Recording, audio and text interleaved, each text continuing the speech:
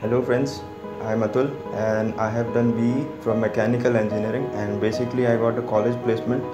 uh, in a logistics company and I did over a, a, year, I spent over a year there and basically it was not very technical so I decided to switch into technical industry and someone recommended me that IT ITpreneur is uh, one of the most esteemed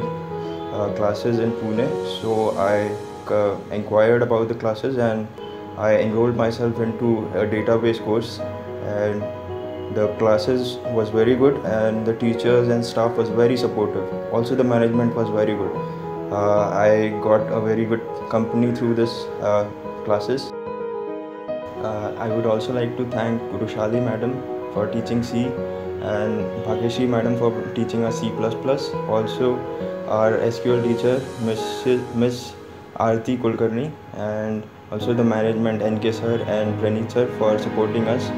and thank you ITpreneur.